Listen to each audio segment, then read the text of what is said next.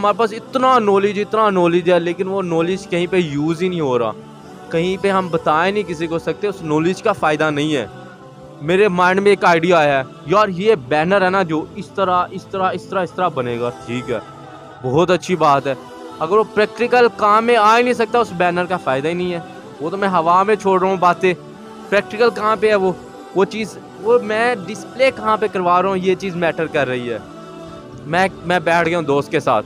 दो तीन लोग मैं यार ये कर सकता हूँ मैंने वो कर लेना है, मैंने ये कर लेना है। कहेंगे, ठीक है, कहाँ पे है?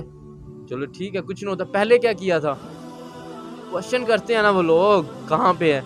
इस चीज़ों के हमें हमें एफर्ट इस वजह से कहा जाता है कि जब आप खामोशी के साथ एफर्ट करते हो ना, आपकी कामयाबी शोर मचा देती है। एफर्ट एफर्ट ये चीज़ होती है, मेहनत ये चीज़ होती है। छुप के काम करना ये चीज़ होती है। लेकिन जो नॉलेज है ना उसको लोगों तक पहुँचाना ये भी बड़ा इम्पोर्टेंट होता है। नफ्स को मारना ये भी बड़ा इम्पोर्टेंट होता है। एक चीज़ को प्रैक्टिकल शक्ल में लेके आ जाना ये बड़ा ज़रूरी होता है। इन चीज़ों पे हमें प्रैक्टिकल वर्क करने की ज़रूरत है ना, फिर हम कामयाब हो सकते हैं। दरख्त को बड़ी देर लगती है यार, ऊपर आते आते। उसे पता नहीं कितने कीड़े लगते हैं, पता नहीं कितनी चीज़ें और लगती हैं, लेकिन वो अगर उसे प्रॉपर उसकी हिफाजत की जाती है ना, वो आगे आ जाती है। जैसे आजकल ये स्कैंडल्स बने हुए गर्ल्स के स्कैंडल लॉलीपॉप आपने देखा होगा ना, एक पे शॉपर चढ़ा होता है, एक शॉपर के बगैर होता है, वहाँ पे कीड़ियाँ चढ़े आती हैं।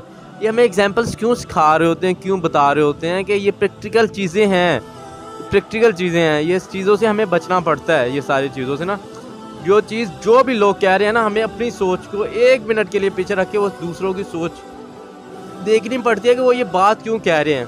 देखिए ना, अगर मैं यहाँ पे कहूँ कि यार, आप कह रहे हो अपना नज़रिया लेके आओ, अपनी सोच लेके आओ, मैं अपनी सोच लेके आ रहा हूँ। यानी कि मैं अपनी सोच यहाँ लेके आ रही हूँ, मैं दुपट्टा नहीं ले रही। ये सोच तो गलत लेके आ रही हूँ ना, इसके बारे में हमें हमें इलम ही नहीं है प्रॉपर हमने स्टडी नहीं किया हुआ कि दुपट्टा बहुत ज़रूरी है। मर्द में, औरत में जो डिफरेंस करने वाली चीज़ें हैं, वो बहुत ज़रूरी हैं। वो चीज़ें लेके आनी पड़ेंगी। अगर हाँ अगर मर्द दरिंदे हुए हैं तो औरतों को चाहिए कि वो अपनी हिफाजत करें।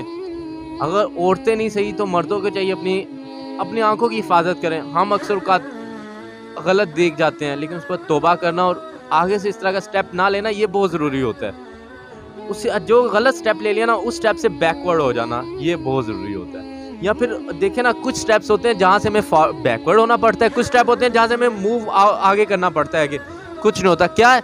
अगर हम गुनाह करते हैं, गुनाह से बैकवर्ड होकर हमें सॉरी करनी पड़ती है अपने रब से, माफ़ी मांगनी पड़ती है। ठीक है ना? अगर हम कहीं कामयाबी के रास्ते पे जा रहे हैं, वहाँ पे हमें धक्के पड़ रहे हैं, लेकिन कामयाबी है आगे, वहाँ पे हमें आगे मूव आउट करना पड़ता है।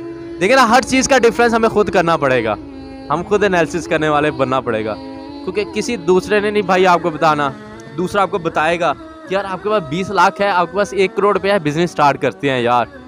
लेकिन उसके बाद जब आप नाकाम होने लगोगे, वो निकल के भाग जाएगा, यार, अब तो ये कंगला हो गया, इसका बिज़नेस ही नहीं चला मैंने इस नाकाम बनने के साथ क्या करना है? इस वजह से हमने अगर दस रुपये इन्वेस्ट करनी है, या एक लाख रुपये इन्वेस्ट करना है, या एक करोड़ रुपया इन्वेस्ट करना है हमें खुद सोचना पड़ेगा। खुदारा इस पर सोचें।